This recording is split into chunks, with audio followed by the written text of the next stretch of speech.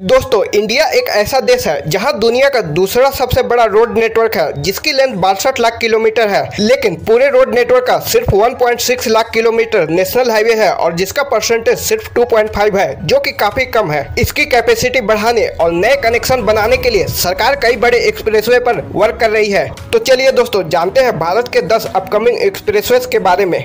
Number ten पर है, Gorakhpur Siliguri expressway. Friends, ये 519 किलोमीटर लॉन्ग फोर लाइन का access control greenfield expressway है, जो गोरखपुर सिटी, उत्तर प्रदेश को सिलीगुड़ी वेस्ट बंगाल से कनेक्ट करेगा। साथ ही इस एक्सप्रेस का फ़ायदा यही नहीं, बल्कि नेपाल को भी काफ़ी ज़्यादा मिलने वाला है, क्योंकि ये एक्सप्रेस नेपाल बॉर्डर के ऑलमोस्ट पैरल ही चलेगा, और ये देश के तीन स्टेट, बिहार, उत्तर प्रदेश, वेस्ट बंगाल को एक दूसरे से काफ़ी अच्छे तरीके से कनेक्ट करेगा। अभी जहाँ इस एक्सप्रेस को सफ़र करने में चौदह से पंद्रह घंटे का समय लगता है। इस एक्सप्रेसवे के बन जाने के बाद यह टाइम केवल आठ से नौ घंटे का रह जाएगा।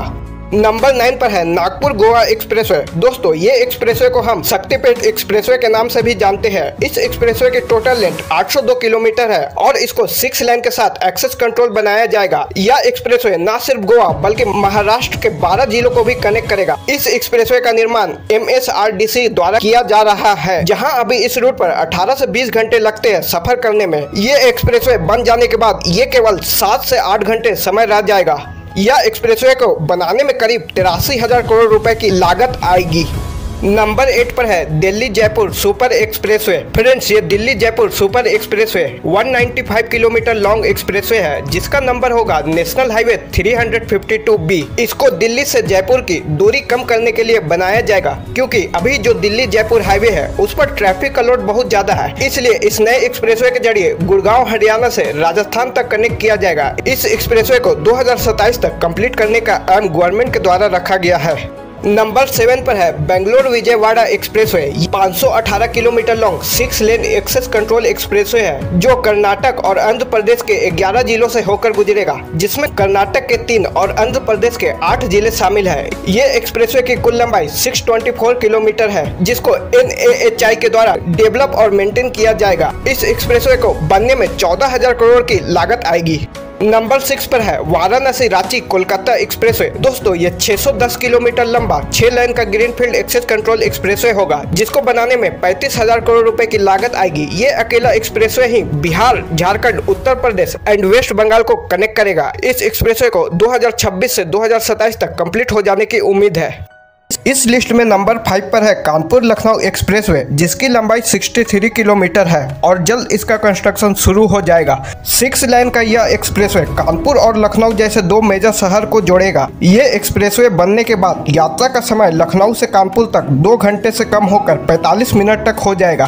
केंद्रीय सड़क परिवहन और राजमार्ग मंत्रालय ने एक्सप्रेसवे के लिए उन्नीस सौ पैंतीस करोड़ रुपए का बजट को मंजूरी दे दी है। नंबर फोर पर है दिल्ली कटरा एक्सप्रेसवे। फ्रेंड्स, ये एक 650 किलोमीटर का four lane under construction expressway है और इस एक्सप्रेसवे को एट लेन तक एक्सपेंड किया जा सकता है। इस एक्सप्रेसवे को दिल्ली से जम्मू के कटरा तक बनाया जाएगा, जिसके निर्माण में लगभग चालीस हज़ार करोड़ रुपए की लागत आएगी। साथ ही इस एक्सप्रेसवे का बड़ा हिस्सा अमृतसर को भी कनेक्ट करेगा। अभी दिल्ली से कटरा जाने में चौदह घंटे का समय लगता है। वही इस एक्सप्रेसवे के बन जाने के बाद ये सफ़र केवल छह घंटे का रह जाएगा।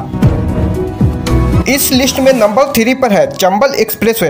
दोस्तों, सरकार भारत माला परियोजना के अंतर्गत एक ऐसा एक्सप्रेसवे डिज़ाइन कर रही है, जो मध्य प्रदेश के प्रसिद्ध शहर ग्वालियर के माध्यम से राजस्थान के कोटा शहर को उत्तर प्रदेश के इटावा शहर से जोड़ेगा। ये तीन राज्यों, राजस्थान, मध्य प्रदेश, उत्तर प्रदेश से होकर गुजरेगा। यह एक्सप्रेसवे यात्रा के समय और दूरी दोनों को वर्तमान में दस से ग्यारह घंटे से घटाकर छह से आठ घंटे और और 490 किलोमीटर से घटाकर 404 किलोमीटर कर देगा। इसे लगभग तेईस करोड़ रुपए की लागत से बनाया जाएगा। नंबर टू पर है अमृतसर जामनगर एक्सप्रेसवे। अगर इसका लेंथ की बात करें तो ये लगभग बारह किलोमीटर लंबा एक्सप्रेसवे है। इस एक्सप्रेसवे से देश के चार राज्य, पंजाब, हरियाणा, राजस्थान और गुजरात को कनेक्टिविटी मिलेगी। साथ ही ये एक्सप्रेसवे तीन बड़ी ऑयल रिफाइनरी को भी कनेक्ट करेगा, जो कि भटिंडा, बाड़मेर और जामनगर में स्थित है। यह एक्सप्रेसवे पूरी तरह से दिसंबर 2025 तक ऑपरेशनल होगा और इस एक्सप्रेसवे को कंप्लीट करने में लगभग अस्सी हज़ार करोड़ रुपए की कॉस्ट आएगी। इस लिस्ट में नंबर वन पर है Bangalore Chennai expressway. Friends, Bangalore Chennai expressway South India का सबसे बड़ा एक्सप्रेसवे है। इस प्रोजेक्ट की टोटल कॉस्ट सत्रह करोड़ रुपए है। इस एक्सप्रेसवे में फोर लेन होगी और ये कंप्लीट एक्सेस कंट्रोल एक्सप्रेसवे होगा। इस एक्सप्रेसवे का टोटल लेन 258 किलोमीटर का होगा। ये कर्नाटक की कैपिटल सिटी, बेंगलुरु से तमिलनाडु की कैपिटल सिटी, चेन्नई को कनेक्ट करेगा। इस पूरे प्रोजेक्ट को 2025 के इन तक कंप्लीट हो जाने का अनुमान है। इस एक्सप्रेसवे की अगर और खासियत की बात करें तो ये एक्सप्रेसवे जिस भी एरिया से गुजरेगा, वहाँ की प्रॉपर्टी का दाम तेज़ी से इंक्रीज होगा। तो दोस्तों, ये थे इंडिया के टॉप फाइव एक्सप्रेसवे जो जल्द कंप्लीट होने के अनुमान है। मिलते हैं अगले वीडियो में, तब तक के लिए बाय